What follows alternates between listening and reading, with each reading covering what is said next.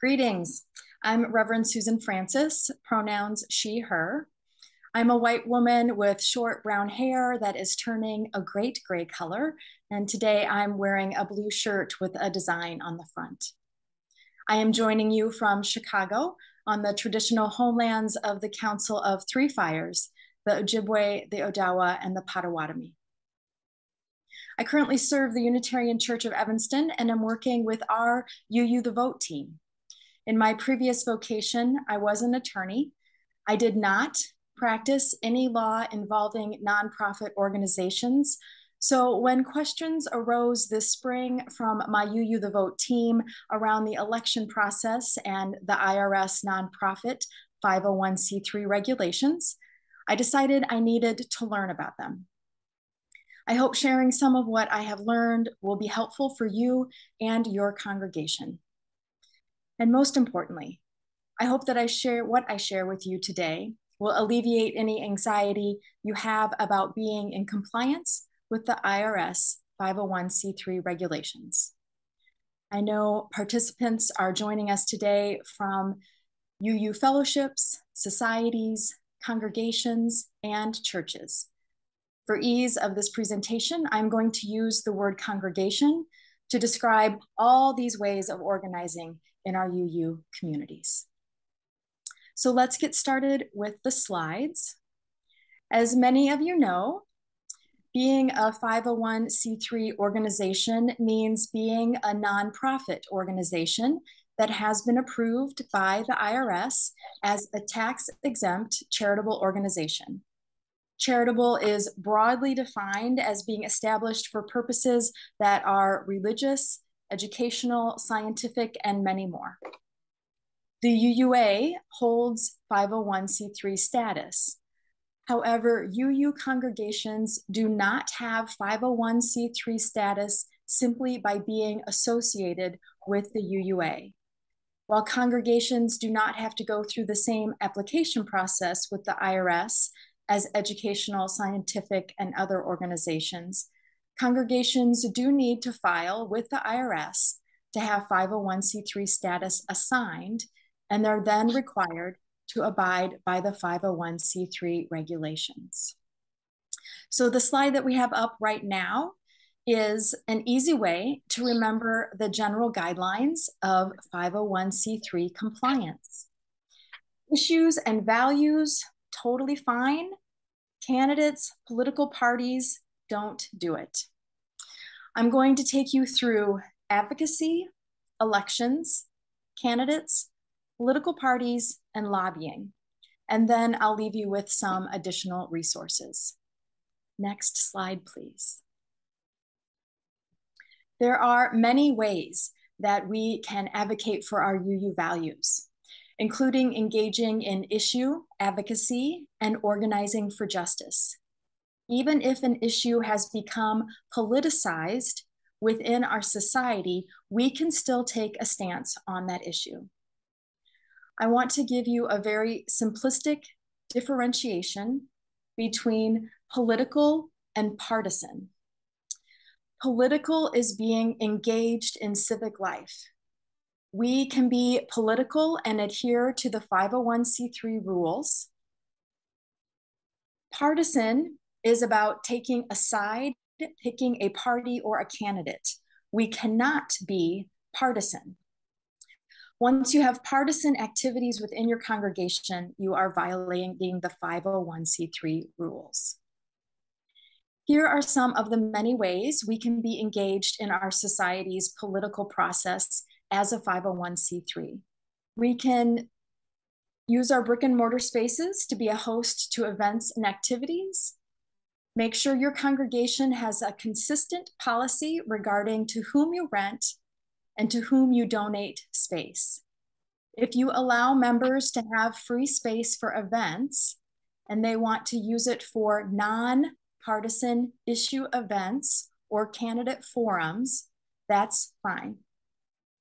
These nonpartisan events can also be advertised through congregational channels.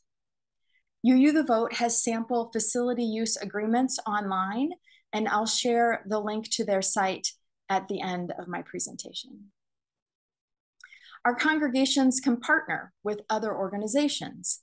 We can partner with other 501c3 organizations with no issue.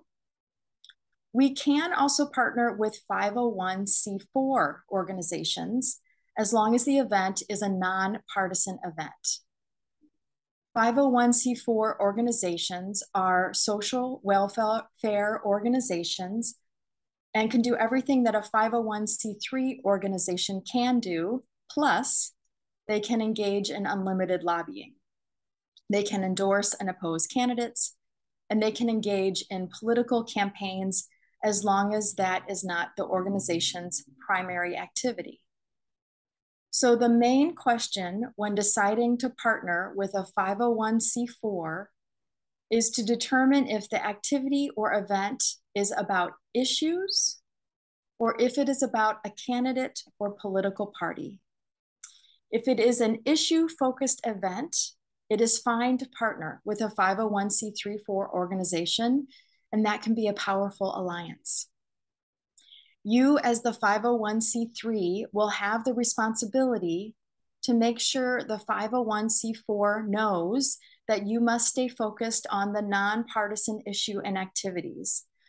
For example, if it is about general voter registration, you are good to partner with the 501c4.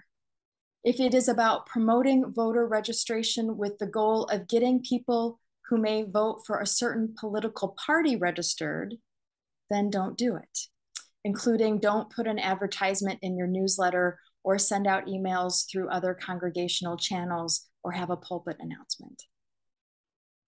In addition to not being able to engage with partisan activity, your congregation cannot have as its sole purpose political advocacy.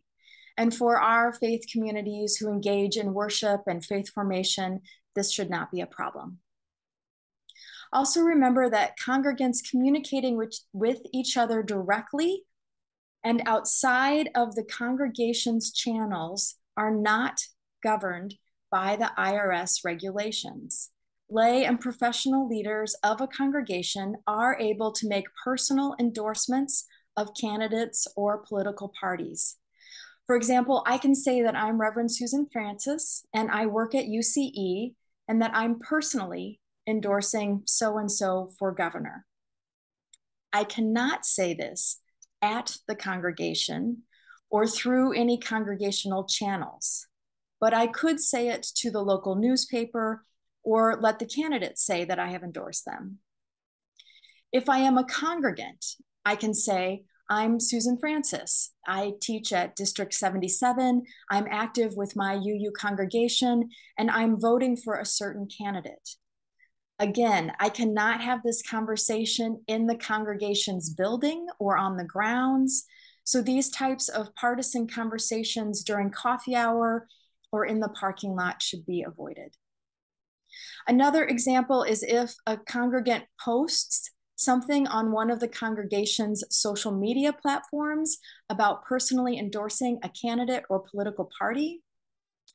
This one off post will likely not affect your congregation's 501c3 status. However, it would be best if your congregation has a clear communications policy about not making such posts and for whoever monitors your social media to post a reminder about that policy. If the conversation chain grows, you may need to take it down. So let's move to our next slide. Our congregations are also able to engage in a wide variety of activities in our election process, from providing nonpartisan voter education and information, to conducting voter registration and get out the vote drives, to combating voter suppression.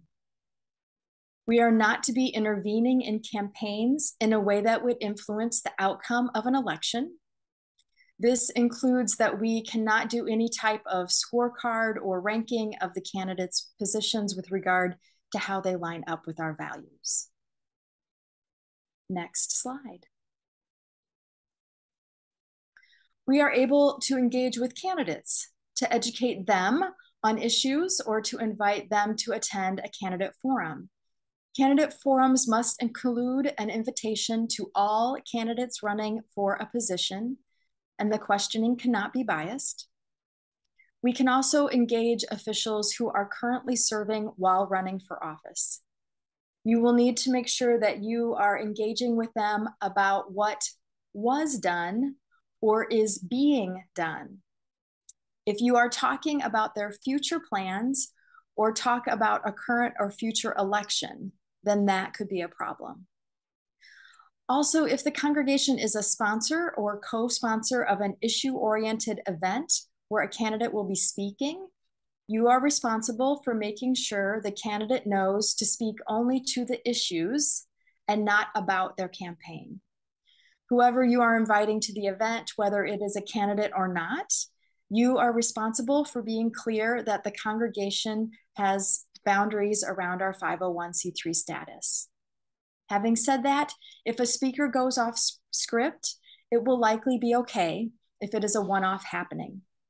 However, if it does happen, you must make sure to not disseminate what was said, such as by posting the recording on your YouTube channel or quoting them in your newsletter.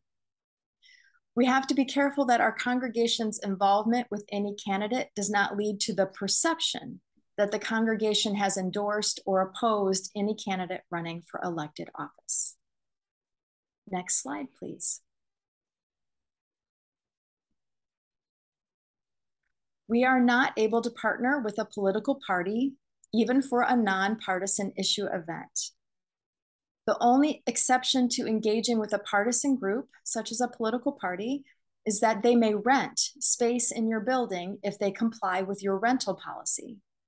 As I mentioned earlier, it is important to have a clear policy of who can rent and who has access to free space. If you let members use space without paying rent, there needs to be an exception that this cannot include organizations that are partisan. Consistency in adhering to your rental policy is the key to maintaining compliance with the 501c3 regulations.